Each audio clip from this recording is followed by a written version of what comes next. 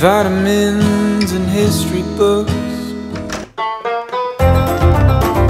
Psychology and a different way to live.